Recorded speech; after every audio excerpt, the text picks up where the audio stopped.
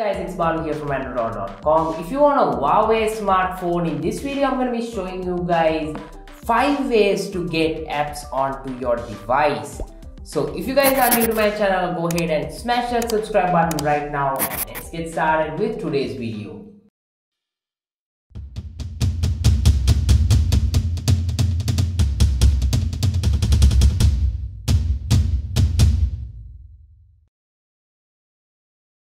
The first way that I can recommend you guys to get the apps is from the Huawei App Gallery App Store. So this is a growing app store that Huawei is trying to improve. So it basically has various categories for you to pick from and there are rankings for apps as well and the application manager is also here for you to check and do the necessary updates.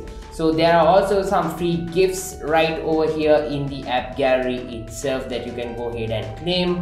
And this is the like i mentioned before this is a growing app store. So you can definitely get uh, your apps from the app gallery the second option is to use the trusty Google Play Store. However, Huawei devices by default, uh, most of them don't come with the Google Play Store. So in that case, you'll have to follow my tutorial in order to install the Google Play Store and the GMS package onto your device. I'll have a video link for that down below in the description along with a card right here. If you guys are interested in getting the play store if you get the play store this is the best way to get all of your apps and uh, the play store has millions of uh, applications and uh, most of it is trusted. So you can go ahead and get into the categories dive on deep and find all the awesome applications that you want the third way of getting awesome applications onto your Huawei P40 Pro is by making use of phone clone that Huawei has baked into the device.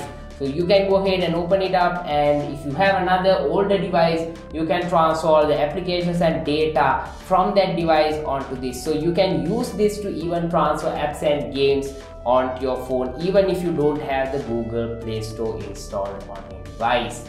The fourth way of getting awesome applications onto your Huawei device is making use of Amazon's App Store. So this actually has so many applications again. So this is a good alternative to the Google Play Store that you can make use of on your device to get all your favorite applications and Amazon also does some giveaways for applications so you can check out and install those applications as well if you can claim them. Finally, the last Store option I'm giving you guys is APK.